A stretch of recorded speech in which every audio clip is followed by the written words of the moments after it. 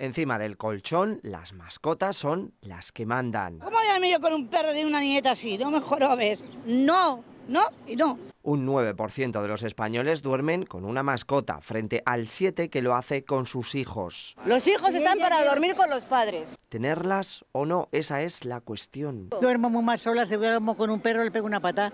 No la metería para nada en, en nuestro cuarto.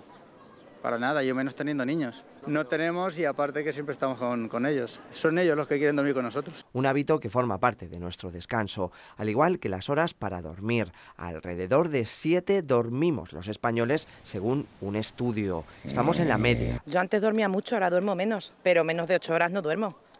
Así que dormir duermo bien, bien. Los hombres descansan más que las mujeres, a pesar de dormir menos. Y entre 7, entre 6 y 7, mejor. El descanso, esencial, sobre todo en estas noches de calor. Pero te duchas antes de acostarte y ya está, y si tienes calor, pues ya te digo, al suelo, que está fresquito.